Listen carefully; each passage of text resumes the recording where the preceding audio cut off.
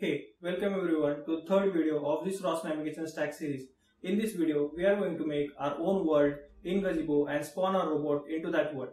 So before starting, I'd like to tell you, if you are watching this video for the very first time, watch out my previous video where I have explained how you can add various SSL plugins to simulate our robot in Gazebo world. So before starting, make sure you subscribe the channel and hit the bell icon as I bring such an interesting video every week. So let's get started.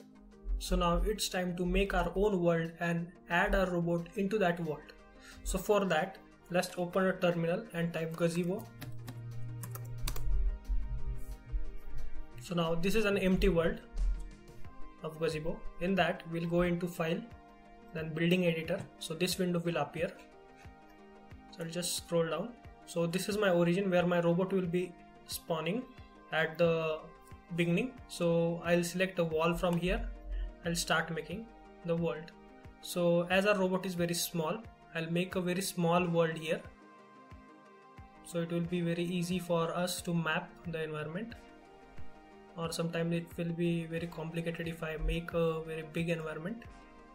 So I'll try to keep environment as small as possible.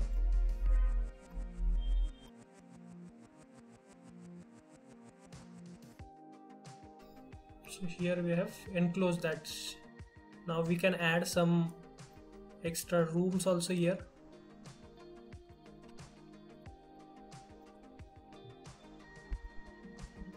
But try to keep the world in proportion to your robot size.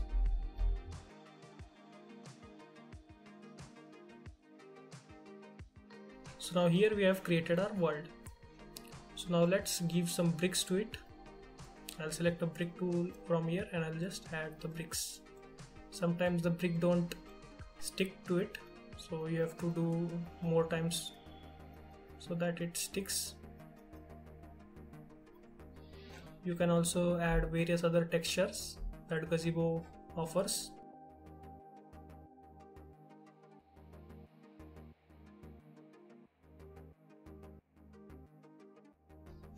so now here I have created my world. So now what I'll do I'll go into file and save as. Here I'll give the name to my world.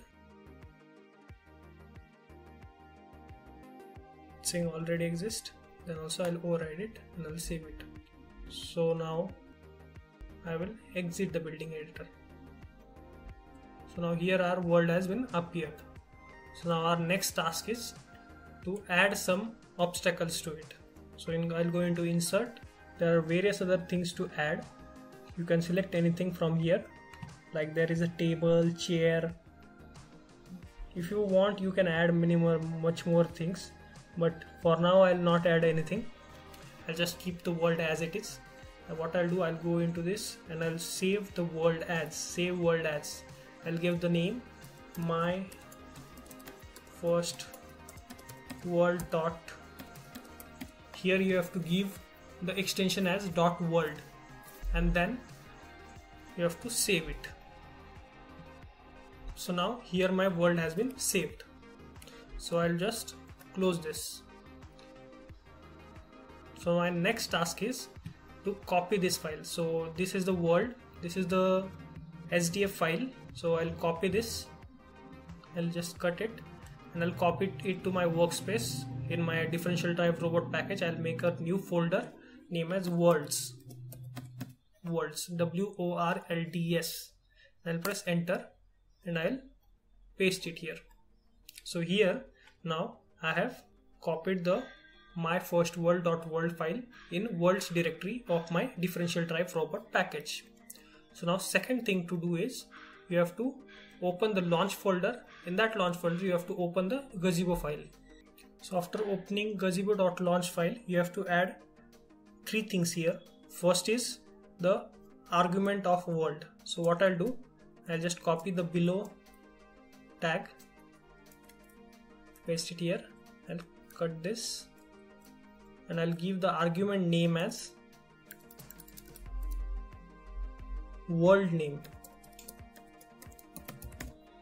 then the second thing I'll add here is value is equal to in double quotes I'll give a dollar sign here opening and closing braces then find.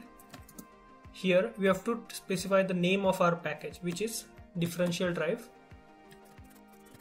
underscore robot underscore description and then now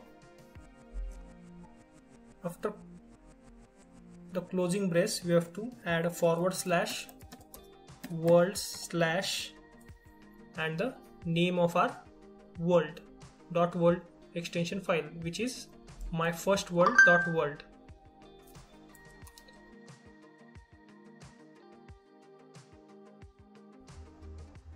So here we have added our robot to our world.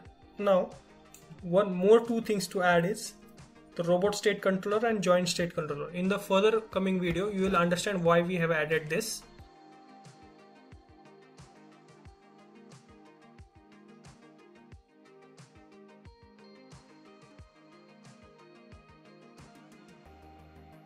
So again I'll copy this. I'll copy this and I'll paste it below. And in place of robot state joint state I'll add robot state.